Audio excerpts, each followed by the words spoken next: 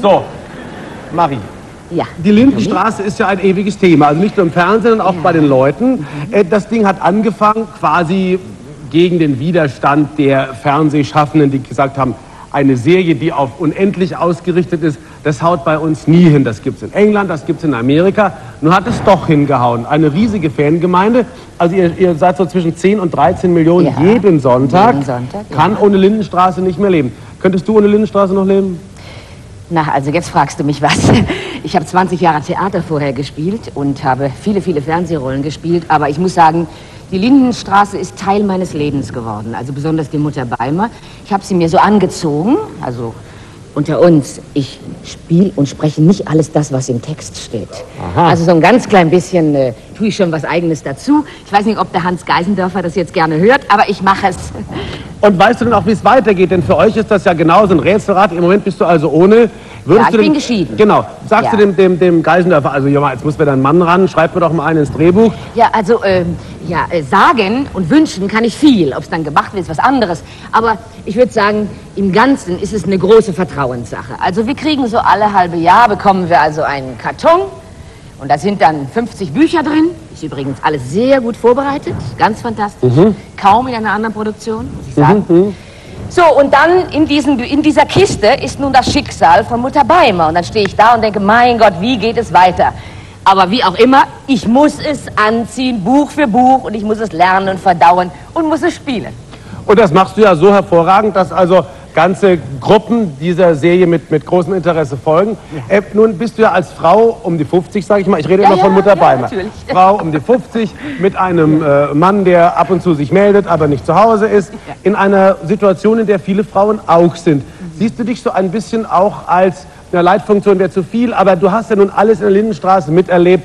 Äh, Da gab es die Drogen, da gab es auch schon AIDS. Man versucht also, die Probleme des Alltages, die Probleme, die uns heute interessieren, einzubauen. Ja, also wenn man das alles mal zusammenzählen würde, was da alles an, äh, an Verfehlungen passiert in unserer Lindenstraße, also an Alkoholismus und Fahrerflucht und äh, Beischlaf, ähm, Diebstahl. Das, Wort hatte ich Beischlaf, vorher- Diebstahl. Hatte ich vorher noch nie gehört, dieses Wort. Ja. Erschlichener Beischlaf, ja. Ja, ja.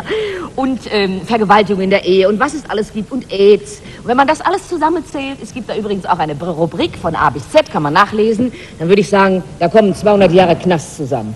Oh, oh, oh, oh, oh. Aber trotzdem, ein bisschen Crime muss sein in, Ja. in solchen Serien. Aber trotzdem sind es ja Dinge, die uns auch betreffen. Und äh, der Geisendörfer, das ist ja nun ein Mensch, Ja. der ja eher auf der äh, intellektuellen Seite, nennen wir es mal so, Mensch, ja. genau, im Gegensatz zu, das, zu dem, was man sonst unseren Serienautoren vorwirft.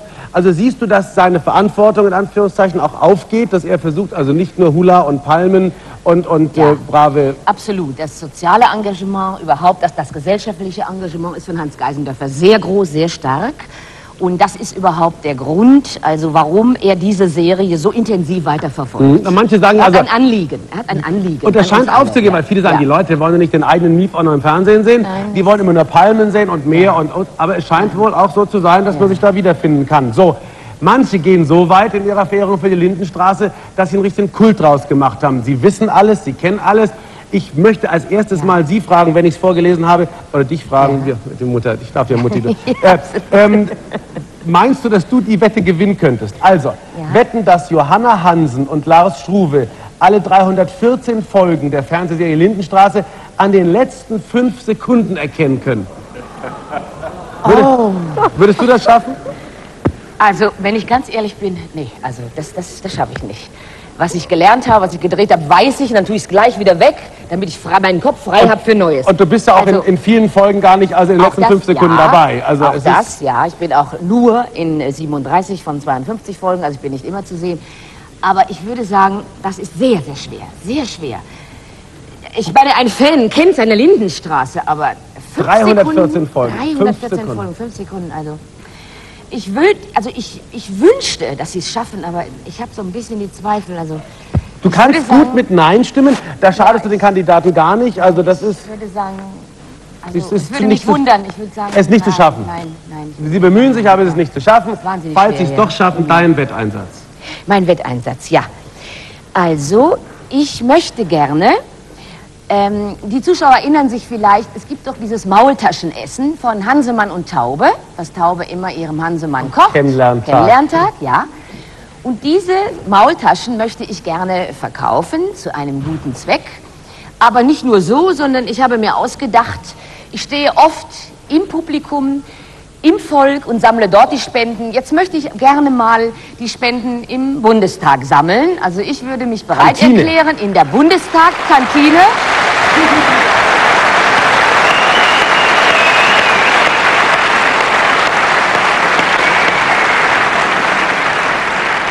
In der Bundestagskantine diese Maultaschen sozusagen an die Herren Politiker anzubieten zu einem sehr anständigen Preis. Über den Preis kann man dann noch reden, aber Gut, es muss was zusammenkommen und mit dem Geld, da soll also die Lebensbrücke, die sich einsetzt, jetzt, damit die Menschen in Russland über den Winter kommen, soll also das Geld soll äh, äh, dafür sein, warme Mäntel zu kaufen, Stiefel zu kaufen, Medizin und Essen und das soll also über die Lebensbrücke nach Petersburg soll das geschafft werden. Gut, also unsere Politiker sind aufgerufen.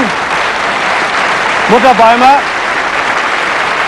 kocht in der Bundestagskantine die berühmten Maultaschen. Und die Damen und Herren müssen sich Angst mit den Tabletts. Und nicht, dass einer sagt, ich kann nichts essen, ich habe meine Diäten gerade erhöht. Also so geht es nicht. Kontonummer, und wir werden sie auch noch einblenden. Es ist die Commerzbank München, Kontonummer 22 22 55 2. Wir blenden das nochmal ein. Herzlichen Dank für Ihr Interesse. Alle Telefone sind blockiert wegen der Lebenshilfe. Das wird vor allem die Gruppe freuen, die jetzt auftritt.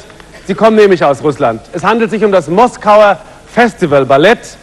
Die große, die Königin des Balletts, Maria Brisonskaya, ist die Solistin, wird auf Händen getragen von Valerie Landratov.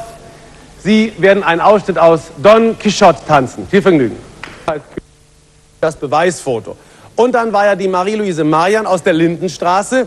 Die hat ihre Kinder mitgebracht und hat am Langen Eugen in Bonn in der Kantine des Bundestages Maultaschensuppe ausgeteilt. So, das ist der Lange Eugen. Wir blenden gleich in die Kantine. Hier kommen die Lindenkinder und äh, werden jetzt also servieren helfen, wie sie es gelernt haben zu Hause. Und dann sehen wir also, wie die Politiker nicht nur gefüttert werden, sondern wie sie selbstverständlich auch dafür berappen müssen. So, jetzt bekommt hier unsere Lindenmutti eine Schürze um. Das war also für die Lebensbrücke für St. Petersburg. Und die Maultaschen, das ist ja so eine Art Suppe hier, da unsere Frau Süßmuth. Das ist Frau Matthäus. Kleckert ein bisschen beim Suppen, aber ansonsten für den guten Zweck.